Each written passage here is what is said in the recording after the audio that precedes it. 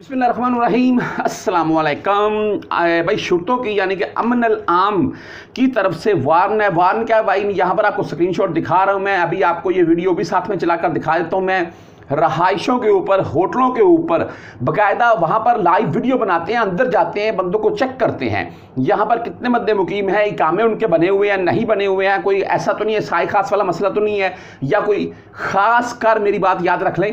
خاص کر visit visa والے آئے ہوئے ہیں جو یہاں سعودی عربیہ میں چاہے وہ فیملیز ہیں، چاہے آپ وزٹ ویزا کے اوپر آئے ہوئے ہیں، دو منتھ کا، تین منتھ کا یا ایک سال کا، ویزا آپ کو پتا ہے، وہ چلا ہوا ہے۔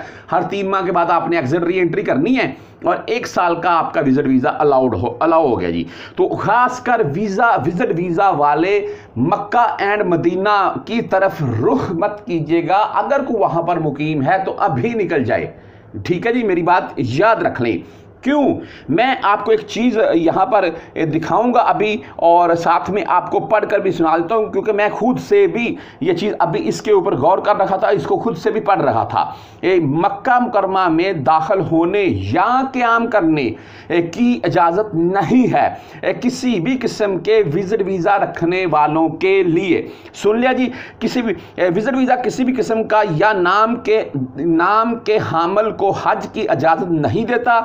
جو بھی اس کی خلاف ورزی کرے گا، اس کے خلاف مملکت کے قوانین اور ہدایات کے مطابق کاروائی کی جائے گی۔ بغیر اجازت حج نہیں کیا جا سکتا۔ یہ تمام ڈیٹیل اس کے اوپر لکھی ہوئی ہے۔ ابھی جو رہائشوں کے اوپر چیکنگ وغیرہ چل رہی ہے، وہ آپ کو بتاتا ہوں میں۔ اس میں آپ کو پتا ہے، دس ہزار ریال کا فائن گیا جی۔ اگر کوئی بندہ اس کنڈیشن میں پکڑا گیا، چاہے اس نے احرام باندھا یا نہیں باندھا، اگر احرام باندھا ہوگا تو پھر تو اس کو ساتھ میں ڈیپورٹ بھی کر سکتے ہیں جی۔ اچھا بہرحال بات یہ ہے جی کہ جو جن کے اگر خدا نخواستہ آزاد کام کرنے والے بندے بھی سن لیں، وہ بھی اسی زمرے میں آتے ہیں۔ کیسے؟ آزاد کام کرنے والے بدون کفیل یعنی کہ، اور اس میں سائے خاص عمل منزلی اس میں اکامہ ایکسپائر والے، اس میں خاص کر حروف والے بھائی۔ اچھا آپ کو پتہ ہے جو میرے پردیسی بھائی سعودیہ میں بیٹھے ہوئے، پرانے وہ خوب بھی جانتے ہیں کہ حج والے دنوں معاملوں میں سختی کے معاملات چار گنا بڑھ جاتے ہیں پہلے کی نسبت۔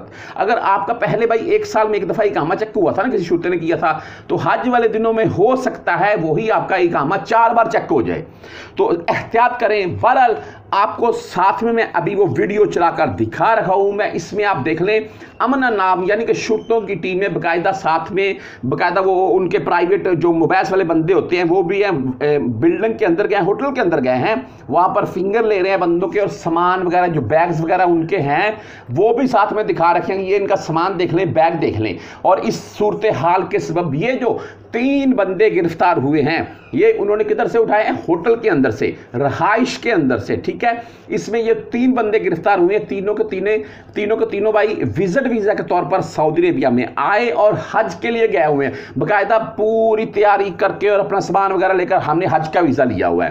دیکھیں، اگر یہ ابھی مثال کے طور پر اگر کوئی بندہ یہ سوچ رہا ہے جی یا یہ اگر ایسا بولیں گے کہ ہمیں تو بھائی جو ایجنٹ ہے، اس نے یہی بولا تھا، تو وہ تو بھائی پھر جھوٹ مارنے والی بات ہے نا۔ کیونکہ آپ کے ویزے کے اوپر حج یا وزٹ ویزا، وہ صاف لکھا ہوتا ہے۔ تو بہرحال تمام میرے پردیسی بھائی جو آزاد کام کرنے والے ہیں، جو بھی معاملات ہیں، وہ احتیاط کریں تو یہی بیسٹ ہے۔